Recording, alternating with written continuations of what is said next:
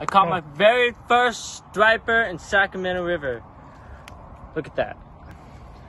It's a beautiful striper, the biggest one yet. And then, oh! My very first striper in Sacramento River. It's not a big one, but you know, I'm gonna release it. So, see you later, striper.